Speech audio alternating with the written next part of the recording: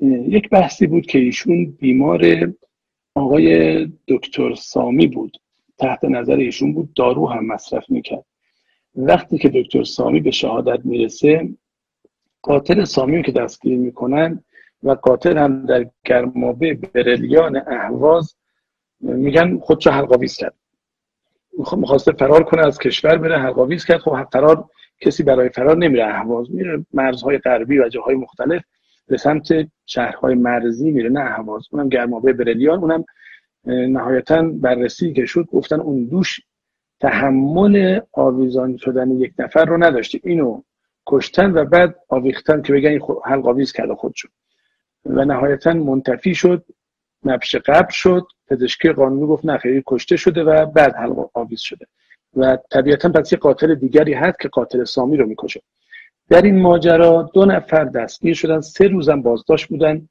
راوی آقای میر اماد دادستان وقت تهران است که آقای حسین شریعت مدار و محمود احمدی نژاد به اتهام این قتل بازداشت میشن.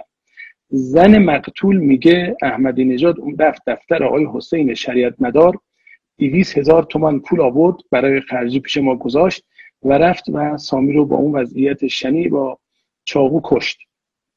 در چهارم آذر سامی به شهادت می‌رسه. آیا بعد جانشین پرونده های پزشکی ایشون میره در جایی طرف خیابان افتای شهریور روانپزشک دیگری؟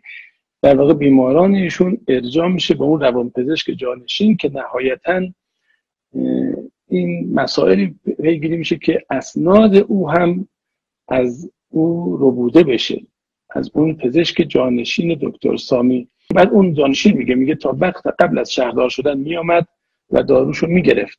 اما از وقتی شهردار شد دیگه نیامد و نمی‌دونم داروشو مصرف می‌کنه یا نه. راجع به اختلالات حالا سایکوتیک آقای احمدی نژاد آقای دکتر اکبر جباری که با جناق آقای دکتر الهام بودن خب ایشون تو سالهای 84 تا همین یکی دو سال اخیر از افراد خیلی نزدیک آقای احمدی نژاد بودن رفت آمد داشتن به دفتر ایشون با خود ایشون.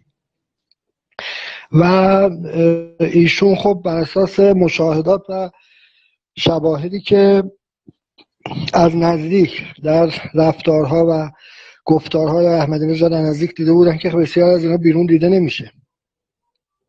ایشون هم در واقع تو این مدت مقالاتی نوشتن یادداشتهایی نوشتن در کانال تلگرامیشون در فضای مجازی که این نکاتی که شما فرمودید راجع به اختلالات روانشناختی ایشون